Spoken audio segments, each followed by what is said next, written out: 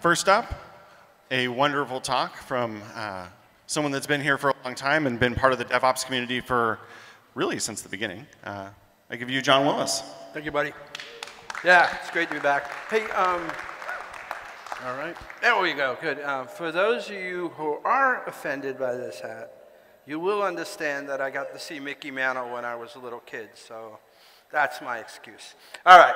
I want to talk about a book that really it turned it started out as an idea that turned into um, a conversation that then turned into a paper that then accidentally turned into a book, and now it's sort of like a bestseller on um, some of the categories. There's a lot of categories, though, yeah, so you, you got to be careful with the categories. Um, anyway, that's the, oh no, oh, there we go.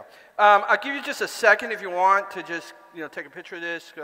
I always like to have the slides when I'm presenting, you know, um, sometimes that's, I, I, you know, I, I'm going to give you my theory here real quick. I think the slow scale is the fast one. So it's kind of like an Iceland Greenland thing, right? So, um, so I went with slow. We'll see if I was right. Don't all switch over to slow right now. Um, okay, this is not working as designed. Oh, there we go. Yeah, okay, this is me real quick. I'm not going to spend too much time. I actually have done like, um, uh, when you get over 10, which sounds sort of arrogant, but like I forget how many number of books I've written and I forget how many startups I've done. Um, but I've done somewhere north of 10 and somewhere north of 10 books. Um, probably the most notable, though, is I wrote the DevOps Handbook with Jez Humble, uh, Patrick Debois, Gene Kim. And then uh, me and Gene did a really cool project. Uh, was audio only. And then really the genesis of this presentation sort of starts the stake in the ground with that green book there, where we created a reference architecture as a group project, which then turned into a book. As a side note, if you've ever heard of Dr. Deming or you want to learn about Dr. Deming, I've been down this vicious cycle on him for 10 years. I'm literally in a week from now, that's going to be an orderable book. You can order that book. I, my, like, like, I am obsessed with this guy. Um, he was an industrial engineer that, um, anyway, I, but that, I'm really happy that book is now real after 10 years. So uh, that's what a pandemic does for you, right? So um, I work for a bunch of companies. Today I work for a company called Kosli. We do have a booth out there, but this is not a vendor pitch. That's really the only time I'm going to talk about Kosli. Um, and I've done just a whole. I was, in fact, I gave the first Chef presentation here at Scale. Like I, my heart is this place. I mean, the first anybody from Chef who gave a presentation on Chef was me here at Scale. Um, and I do play guitar, not really well, but it is. I think I have to be closer to this, maybe. Uh, so this is the book. Um, I did happen to pick it when it was number one. It's not number one anymore, but um, it's out there. Um, and here's the thing: it, it isn't about investments. It's we'll, we'll, get into it a little deeper, but it's about a bank that gets an audit and has to go through this sort of core chronic conflict of crisis of like, why did this happen? And, and it, there's a line in it later. I'll just steal it for now. It, there's a, a line where the advisor-like person says, "Your DevOps failed you," because they didn't include security. They were literally showing up, fictional story, they were showing up at all these conferences and, um, you know, in the, um, you know, and like they thought they were doing great, and then all of a sudden they get from the OCC um, a nasty letter. And so the, I do want to give attribution. Topo Pal was first fellow at Capital One. It was him and I who basically started having these conversations back in 2017 about like, could we do as an industry better at internal audit?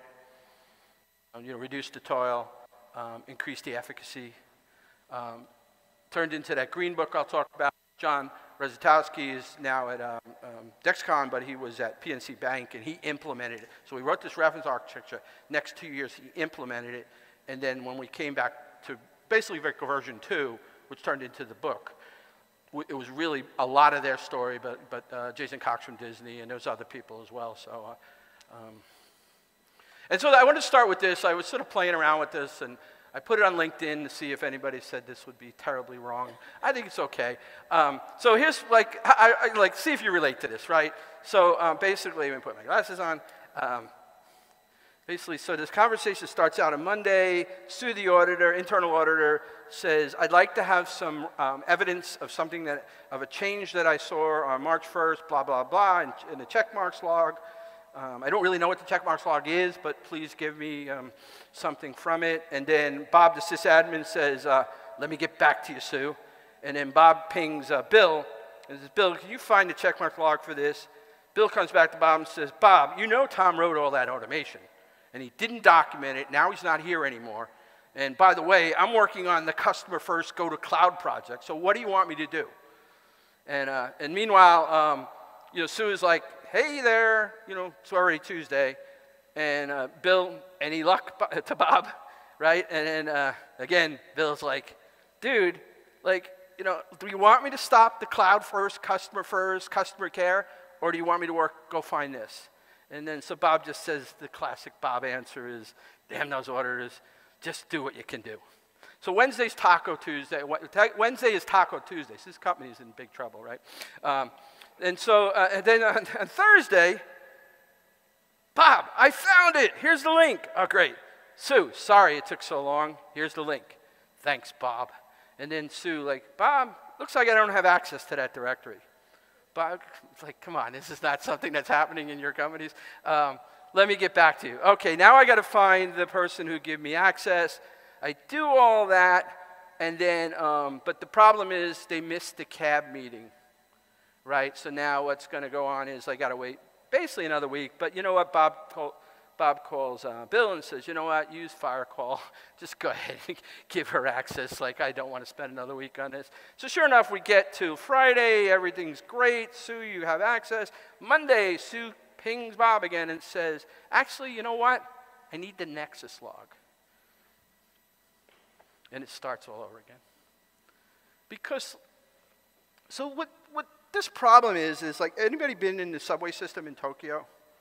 Right? It's like, there's two problems with it. One, one is it is incredibly complex. I've been all around the world, right? I, I think they win the sort of war, the award for complexity.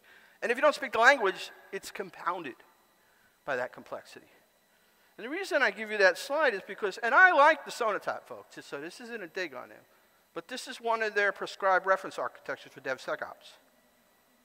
And so imagine the Bob, Bill, Sue scenario of, okay, I don't even know where the last change was, right? And then let me go find that change. And then, oh, by the way, I, just because you put it in ServiceNow doesn't mean I really trust what you're saying. I need to see the evidence, and the evidence is somewhere down in there. And by the way, it may have been rotated and the logs are gone, by the way, something that happened at SolarWinds. They don't really know how long it took. They don't really know how the breach of when they really got in there, okay? Um, the, I mean, so, I mean, like, somebody might get an error, remove a directory, rewrite the automation. Like, like, this is the real stuff that happens in large enterprises, in case you didn't know. So the, the, the, I told you earlier that we sort of started with a green book, but it really started back in 2015.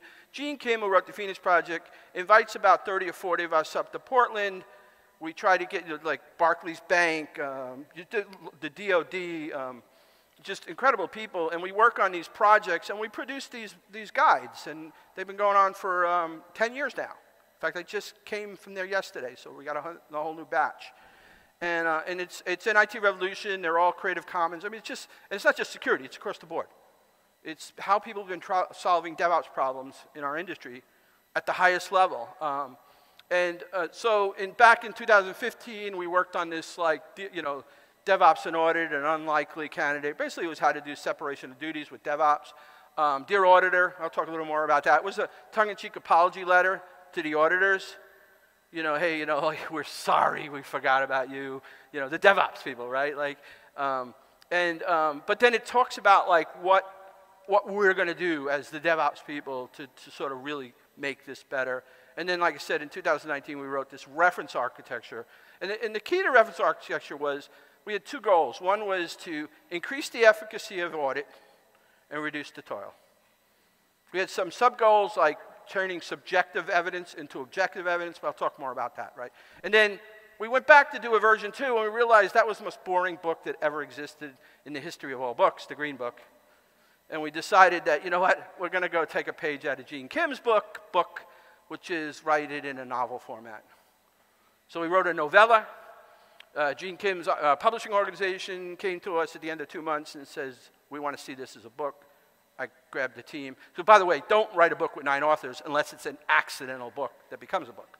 Um, so, but, uh, but it actually worked out pretty well because there was a lot of uh, sort of, you know, like the people on the book, you know, like Helen Beals, worked with Lloyd's of London, uh, Jason Cox at Disney, Michael Topo Pal, I told you about. So it's incredible uh, around of knowledge. So the Dear Auditor letter was interesting. It was an apology letter, but, and there was some, some things we said, we're going to bring you along. We're basically telling the internal auditors that, like this DevOps things, we forgot. We forgot. Know, this DevSecOps was like our apology, right? Of like, um, you know, and, uh, and, and, what was interesting about it, it, it really created, um, I think like 56 um, risk controls in this publication. So this is, it's a tar file, it's a, it's a paper, you can download it, Creative Commons. But the one that sort of like stuck in Topo and I's, you know, when we were thinking about this, and all these things are relevant today, right? Um, PAM, SBOM, of course, um, GDPR, um, you know, red teaming. Uh, but the number eight was, the divergence of audit evidence from developer evidence, right? That was the thing that we saw that was a big problem here, you know, right? Um, and so it was the, what, what we tried to attack in the green paper. And so the, the thing that you see is, or what I see is, you know, that, that subway map problem or the, or the Sonatype um, reference architecture, right? Like, th there, there's another thing too, right? And I took these slides out because I don't want to run out of time, but, you know, there, and this is going to sound simple, but there is a DevOps heuristic. It's the last change, right? Like if you read the SRE book, it will tell you that. If you read Gene Kim's Visible Ops, it will tell you that. Um, you know, it, it's in basically all, if you know John Allspaw and his master's thesis of what he did is tracked incidents at Etsy. It's an incredible paper. He, did, he got his master's on this. Um, it, it, the first heuristic was it's the last change. So that's for incident, we know that. And for change, for audit, what do they do? They randomly select the change. So it is change. So how do we get from a developer to the change? How do we get from operations to the last change? Or the chain, uh, chain of changes? And how does risk and IT audit? In other words, they have to deal with that subway map. And so this idea that came up, what we've been talking about, is this idea of an evidence vault. Could you be one click away from the last change, or the, sometimes the last change might just be a config file change, so it might be the change before that, which is actually, you know, the, the binary that got changed. Um, and, and, the kickback could cause a massive problem too. But uh, the, um, and so that, you know, this sort of uh, wheel of compliance where what if you could just, you know, get people to one click to the last change? And anybody in that list, right? Security too, right? SRE, platform engineering. Like something, an incident, or I'm trying to audit. And here's the goal too, right? I don't want to, the, another sort of sub goal of that first green paper was could we turn 30 day audits into zero day audits? Right? Could you just hit enter at any given time? Or you could you say, like, this is truth. So I say, think blockchain, don't use blockchain. Fortunately, there's this really cool thing called Merkle trees, which basically answers that question for me. But like something that's immutable, digitally signed immutable evidence that can't be, ta- it's tamper evident, basically, and humans don't create the attestation.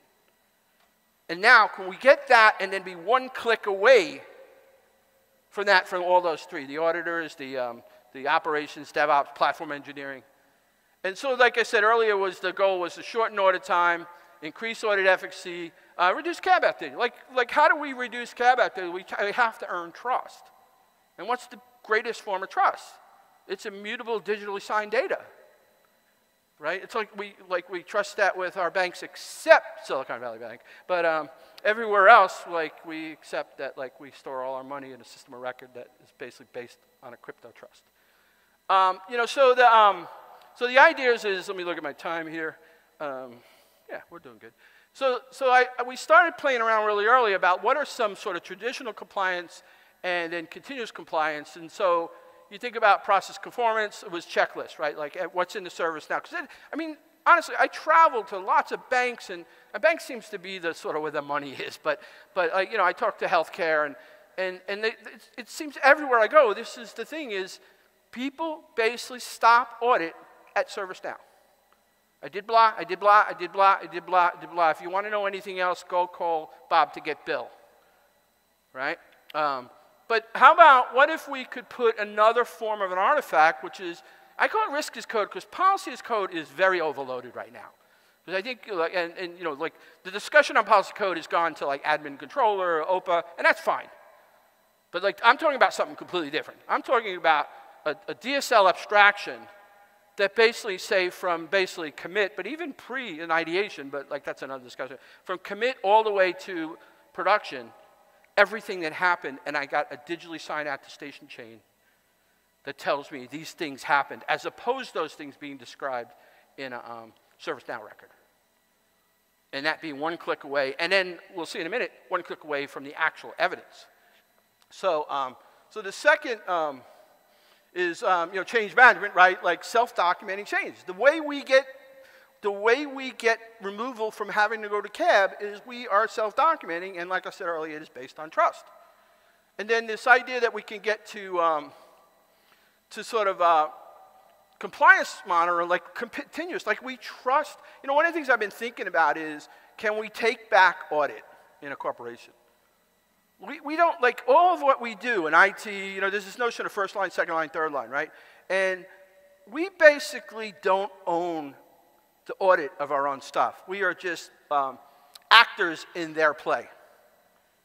Get me this log. Why is this log? How come the Sonatype log, how come the Nexus log doesn't match the uh, log? Well, they're not the same thing, right? yeah, but no but, right? Like, can we take it back where we basically say, this is immutable evidence of what we do. If you don't believe it, if you don't think this works, then you really should be worrying about like the system of record banking data because we're using the same technology. And so, yeah, anyway, I, like, you know, these are some of the things that I, you know, I, I spend a lot more time in other presentations that you can follow up on. But like thinking about um, a security scanning as an attestation. Did it happen? Did it pass fail? Where's the scan artifact data? uh, risk control uh, um, unit tests. Right? There's a lot of things that happen that may or may not be a PCI DSS. They may be borderline, like test coverage. I have a lot of clients that are sophisticated that will say that for this application, it's got to be 80, 80% coverage, or it can never be decreased. Or cyclomatic complexity, which is something you know, SonarQube gives you. Every vendor that literally puts a check and a gate on cyclomatic complexity. No, there's I don't think there's any sort of compliance guideline that says. In fact, I'm sure there isn't. But why not? The behavior of how we do things, we're sort of creating behavior changes with this as well. Right? And then, um, you know, information leakage, secrets, like that kind of stuff, right? Um, and so, this idea that we could create then a dashboard that could be one click away from the last change right? So now we have this risk as code that is an abstraction layer of all the things we really want to know about, not just the things that will stop us from getting into Kubernetes, which are part of the things we want to know about, but everything else. Was there a, was, a, was there a review on the pull request? That is a PCI. That's a NIST. Like, like where does that show up in your attestation? I tell you, most people I meet, it, it's a description in the ServiceNow record. What if that could be a fingerprint um, so, so imagine that you could, anybody from, and I'll show you some examples, but for any service on the last change, they could see all the things that were defined in the risk profile. And, and, and, again, the trust is like this is digitally signed. I mean, it happens to be in a Merkle tree in some examples. Um,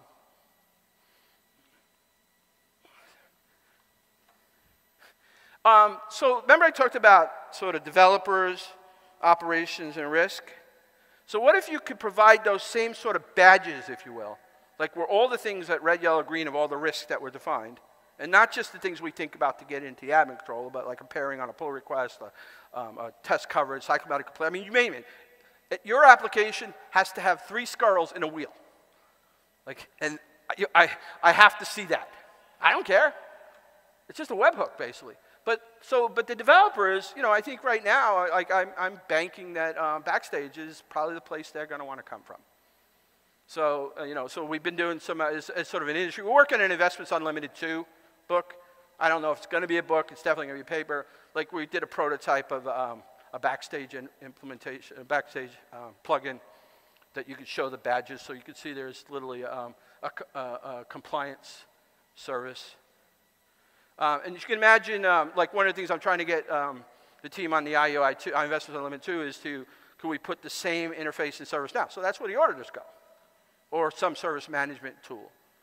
You know, and, and then sort of operations, um, maybe a very operation-focused interface. Now, here's the thing, too. This is the thing. Uh, so, Bill Bensing, who works with me, we worked at Red Hat together, and we really tried to drive this as, a, as an opportunity. We learned a lot. But the, um, one of the things he did for the Department of Defense, so the Department of Defense had this uh, DevSecOps reference architecture, and um, they call it Dead Sword. And um, Bill had built Red Sword, which was Red Hat's implementation of Dead Sword, right? Um, and one of the things that was a requirement was, and, and I love this because this wasn't a, something that we thought about in the original Green Book, which was um, they wanted, as part of the Dead Sword architecture, to not just have the subway map of go find where the whatever the you know Checkmarx or any sort of nexus log is. They wanted an architectural structure so that that got archived and put in a directory. So that was sort of an artifact. So we didn't have to worry about did the directory change, did it get rotated, did the you know did like after it, it, rotated after six months or a year, right? Um, and by the way, in large banks, I see this all the time. These these logs get rotated every six months. These logs, and then anyway, I, I go on forever. Um, the tier you have like customer-facing tier zero apps that have dependencies on like tier three, and because those are the the, the CI/CD. Well, those things are evidence. So you think tier three, we can rotate logs every year. Right? Like this is the thinking that goes on in our for like large banks, right? All right, so the point is, what if you could take the data from, you know, in this case it was a prototype with um, OpenSCAP, you know, a STIG basically, and, uh, and then show that we've archived it. And so when you get that one click to the change, the next click is that file. And here's the really cool thing. There's this thing called Sigstore and we can sign the fingerprint to the artifact. So not only can we ensure you that you always have that copy when you need to audit or whatever you need to find out from, from an incident or audit investigation, but that it is now, we don't have to worry about what directory it's in, did, did it rotate, did whatever. It'll actually come up and say the chain is broken between the fingerprint and the actual archive data. And we use Sigstore for that. If you check into Sigstore, it's pretty awesome. Um, it was a joint venture between Red Hat and, um, and Google, originally for certificate transparency. But it has this great way to do sort of attestation evidence data as well. So, so um, yeah, so like here is a, a, a sample OpenSCAP evaluation report we ran. So imagine you get the change, you're in Backstage, you're a developer. I mean, maybe developers don't care about OpenSCAP. They should, but, but you know, maybe the auditor does, right? And so they're in ServiceNow. They hit the click on the, uh, the, the, what I would call it is a badge, which is the thing that out of all the things in the risk as code said you should, should do. And they can go with two hops to this and know, by the way, you know, one of the things we're playing around with, and in all transparency, like I'm not trying to act like that I'm not a vendor and I, we're trying to do this as a vendor but I'm really trying to stay away from being a vendor pitch. But I'm working in, I'm working in open groups to solve this so that any vendor can do this with us. So let me just be clear. So if you go to our booth and say, yeah, that sneaky, was literally, you know, because you will see some of this stuff at our booth. But the point is, if anybody knows me, I focus on industry improvement. That's what I do. So I'm 63 years old. I've been doing it for an awful long time. Um, but the point is that, um, the, you know, the, the, like the auditor it will come up and say, by the way, there's a mismatch in the hash here. That would be immediate evidence that something's been tampered with. Um, you know, I, I, I, think when I said uh, a certain vendor before, I watched somebody's face go white, so I won't say the vendor name anymore.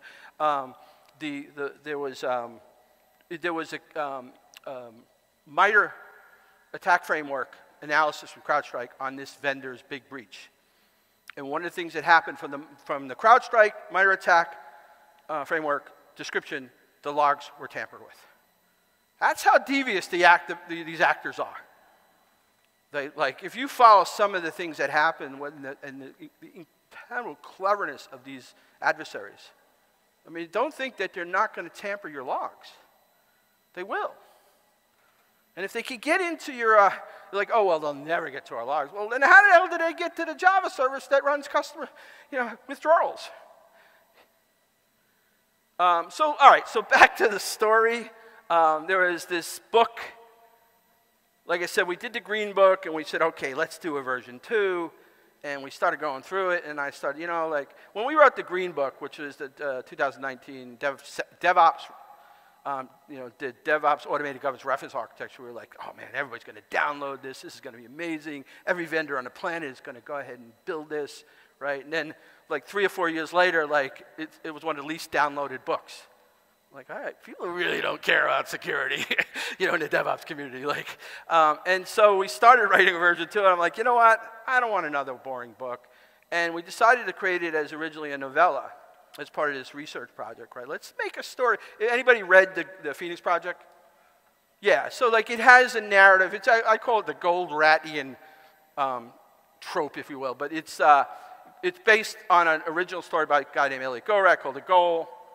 Gene wanted to write a modern version of it. it all, all these books have this mentor-mentee relationship where the, uh, the mentor doesn't ever give you the answer. You know, have you all met those kind of people, right? They make you figure out, which is good, but like it's frustrating. So we have that, and then so we picked, we decided to create a company that was investments only, uh, like a thousand employees, 20 billion market. I mean, that's really small in the financial. In fact, a lot of the big people at the forum were like, man, that's a, that's a really stupid story. But like, I'm sorry. Like, we wanted to make it like small enough so that we could have the taste of what you have to go through with banking compliance, but not big enough to write like a 400 page novel, right?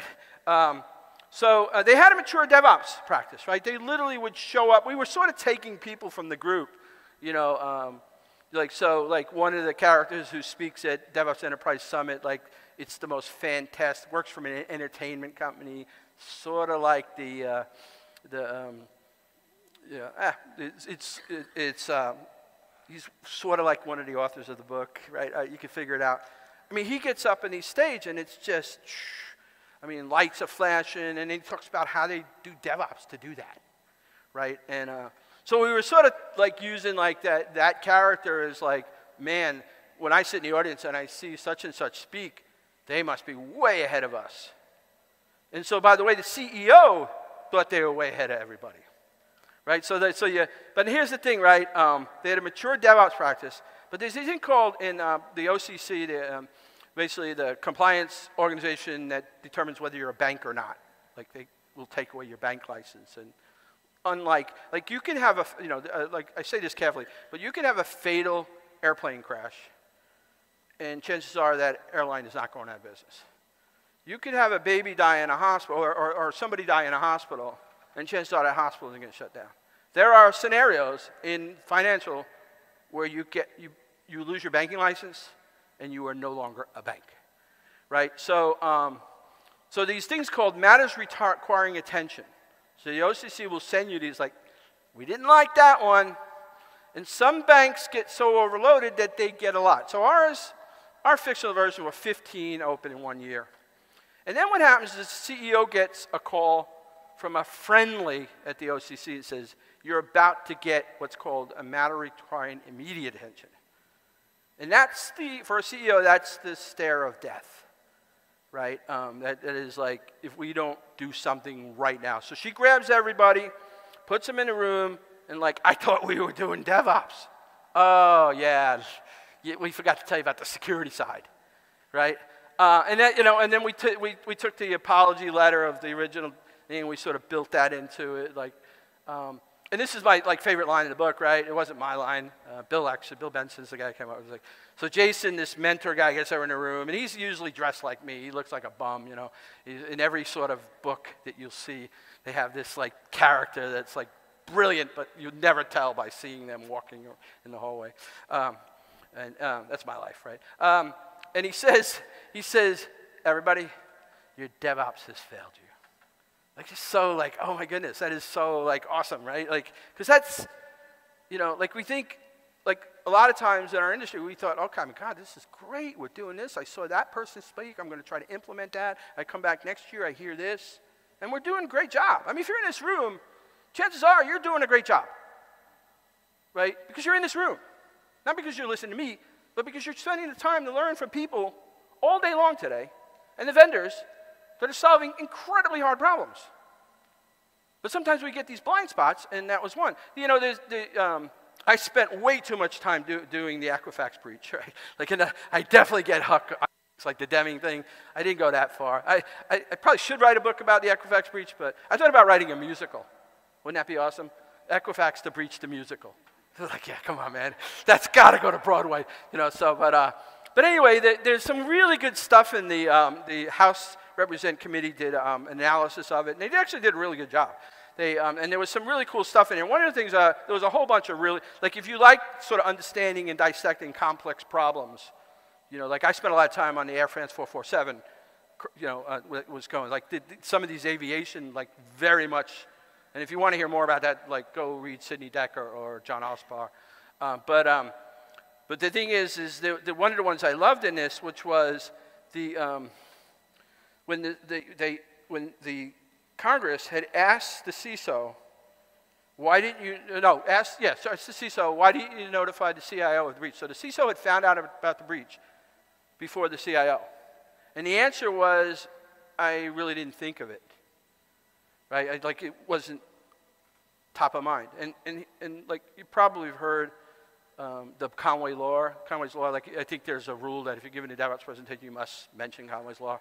So, um, but it's a pure Conway's Law, right? Because this, we, you know, like this is funny because in our book, we created a Conway's Law like structure we, we had a, a CR, CRCO, Chief uh, Risk and Compliance Officer, and we had a CIO, which basically reported up to the CEO.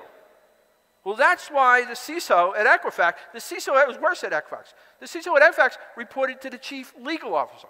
So the answer to the question was, in that case, all of the concern was from a legal and financial perspective.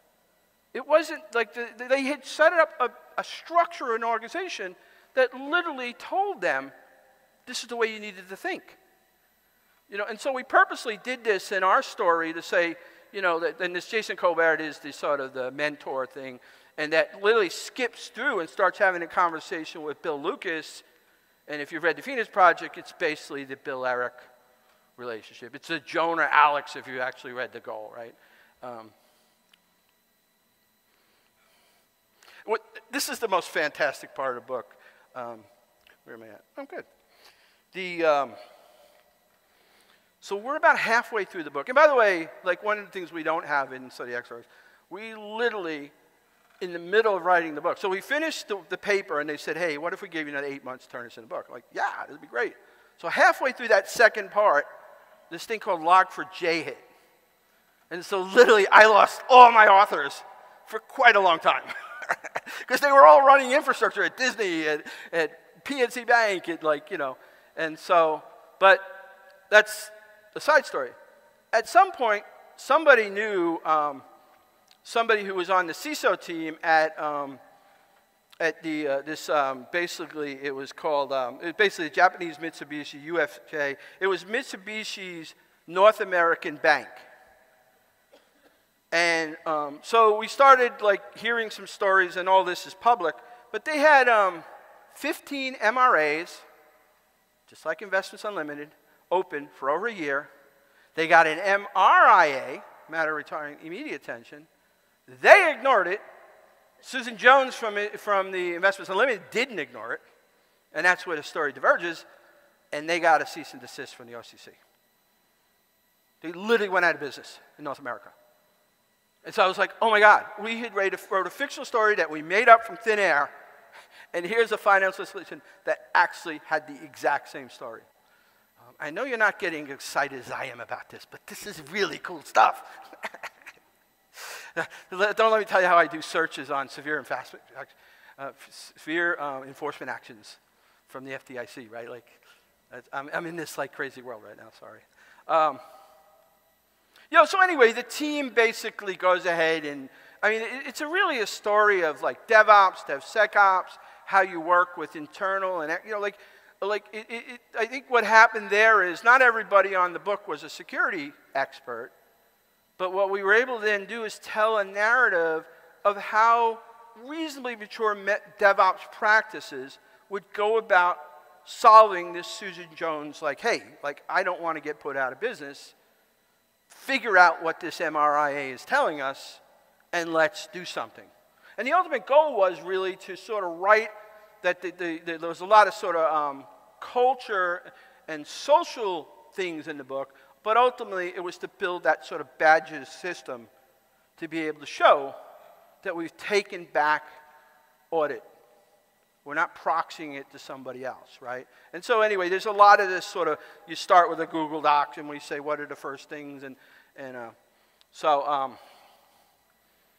and here's another thing that sort of comes along in, in, in, my sort of travels is this notion of the three lines of defense by the uh, IIA, basically internal, uh, the Institute of Internal Auditors, right? Which is basically the guidelines of how most organizations do internal audits. They sort of set the standard. Um, Gene's been writing about this for years. Um, and the way this sort of works is sort of interesting. So Andrew Clay Shafer, a dear friend of mine, um, cohort, was, you know, we, me, Andrew, and Damon Edwards ran the first DevOps day in the U.S. I was the only American at the first DevOps day in Ghent. Um, so Andrew, I go back a long way for, with Andrew. In fact, just as a side note, since I got a little extra time, I've been losing a lot of weight, and uh, and that's great, thank you. And Andrew, 10 years ago, told me because I 10 years ago I said I'm going to lose weight, and it took me 10 years to lose the weight. But uh, but the uh, he said if I lo- I said if I can lose this much weight, I'm going to jump out of an airplane. And Andrew said he'd jump with me, and I think this summer we're going to be able to do it. So yeah. Thank you. Thank you. Um, but anyway, um, Andrew had created this really cool thing years ago um, at one of the O'Reilly conferences, and he called it the Wall of Confusion. And it was really the caricature of DevOps. It was dev, this wall, and ops, right? And like before the sort of the sort of the, the strong DevOps conversations, right? It was you know developers throwing their stuff over the wall, ops trying to catch and say, I don't think it works right. Ah, you just don't understand it, right? And and it was a beautiful caricature. And then as I started learning more about the three lines of defense, they're actually a two-wall system. By definition, they really don't want the third line talking to the first line. And I guess in some universe, that's a really cool and smart thing. but when you're, you know, and there's a lot of things I realize when I talk to some type banks and, and they're in sort of just getting out of waterfall and they're going to do their first sort of one deploy a month. Right? And I'm not making fun of them, it's just where they are. Like, they don't think any of this is a problem. But when you're doing a thousand deploys a day, or in some cases, 1,000 deploys an hour, this, this doesn't work anymore. Now, I'm saying get rid of the three lines of defense. Like, I'm not that naive. But this idea that third line should never talk to first line, second line needs to be the translator and the owner. I have these incredible conversations with second line people about how broken the system they live under it is. And like, naive me, why can't we send all three lines to design and requirement meetings? like, Seems like that would be a really cool thing. Could we create, uh, you know, a risk as code structure so instead of arguing all the way down on the right side why you didn't hit this compliance or this risk control, could we have an upfront conversation about what this stanza in a YAML file actually means? Now, you may not get it right, but you'll get much closer in a conversation at an audit time. I mean, is this making sense to anybody? Okay, couple of thumbs up. I got one thumbs up, so the good news is only about 10 minutes left. So um, I've got to literally point at that thing to happen. So this is like this. Sort of, there's a couple more things, and I, I think I'm going to give back some time to the sponsors and all that. But uh, um, so they, they, they build a demo, and they build this. They, they literally build what we described in the, uh, the original 2019 book. They build a demo, and this is like demo 101. Like, again, for all these people, we've been doing demos our life. So they do the demo, and they got everybody in the room, and it's like, wait do you see? We've got Susan, come on, sit up front. We're going to, Susan's the CEO, right? And everybody's like, waiting for this demo. It runs, and, and the whole thing passes. No fail. People are like, yeah, okay. No, I got to go to, I'm going skiing this weekend, right? And, and like, somebody's like, you know, I know what we did wrong. Anybody know what they did wrong? Yeah, thank you. That's why he's getting a, a book earlier than everybody else. and we'd already talked about that, right? Uh, I'm doing this book signing at around noonish.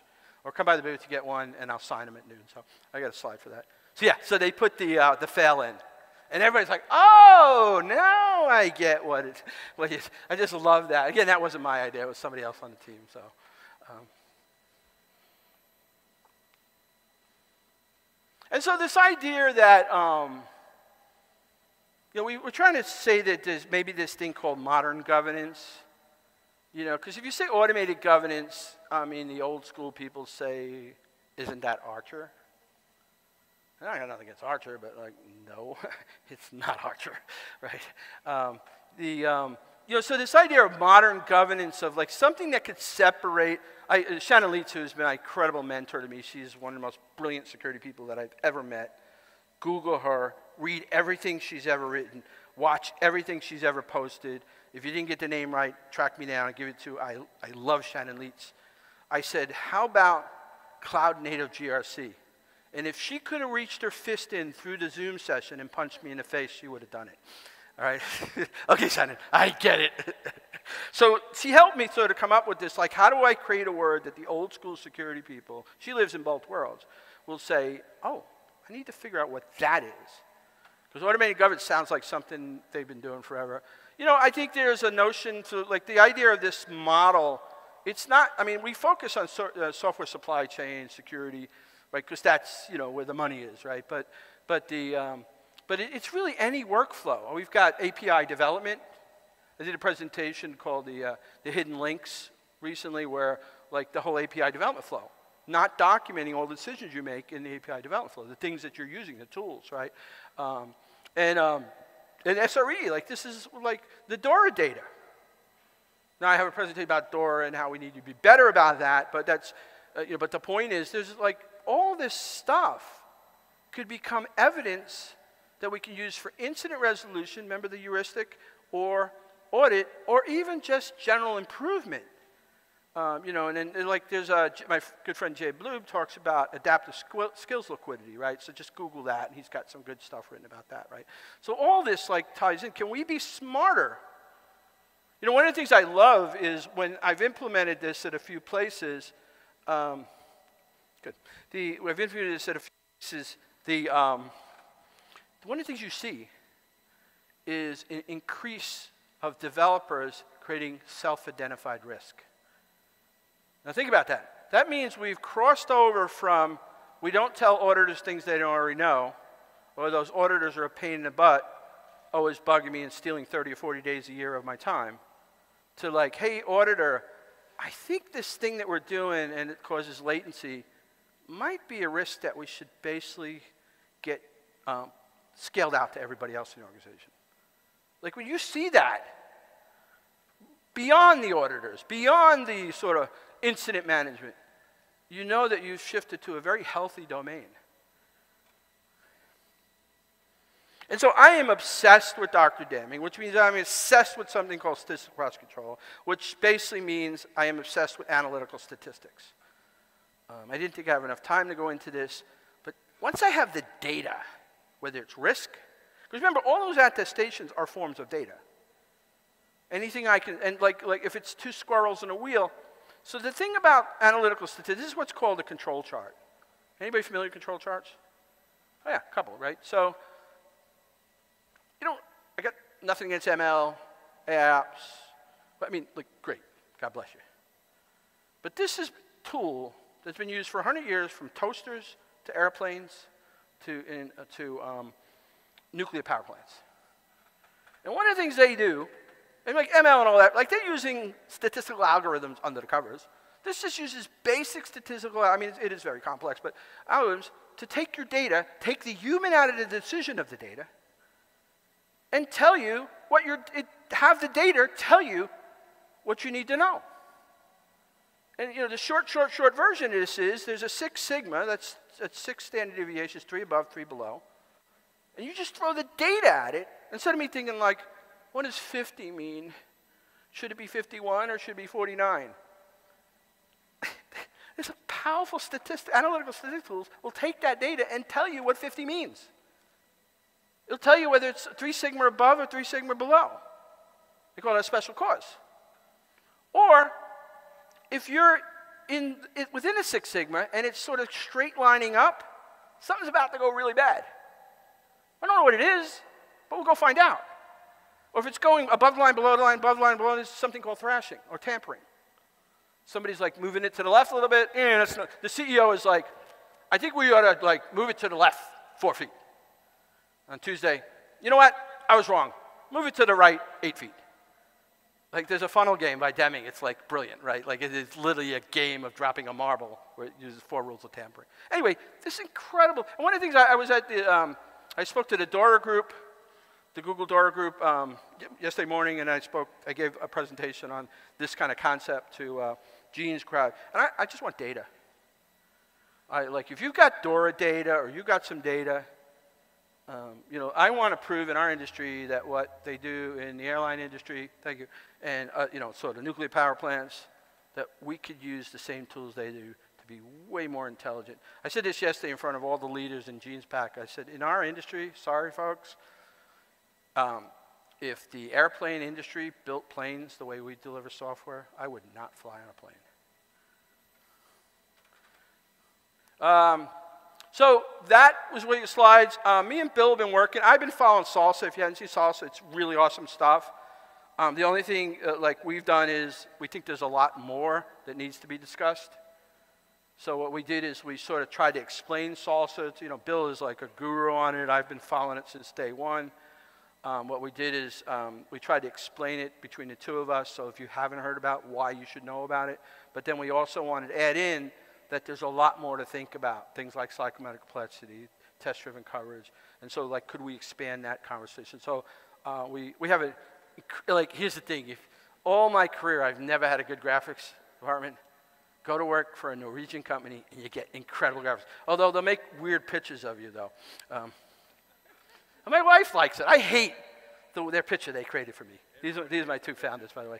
And I'm like, my wife's like, I like that. I'm like, okay, all right. As long as my wife likes it. So that's me. Um, um, so the Kosli booth. Um, if you're interested in my Deming stuff, please come by and talk to me. I'm like obsessed. My book's coming out. I'm like, I mean, I'm going to create um, a handbook. That's my next project based on the book that I wrote. My LinkedIn, I'm Botchagalupe, johnwilliskosli.com, and I think that's That's the picture, right? I don't know. Hands up. Who thinks it's a good picture? Good. You're an honest group. Thank you very much, everybody.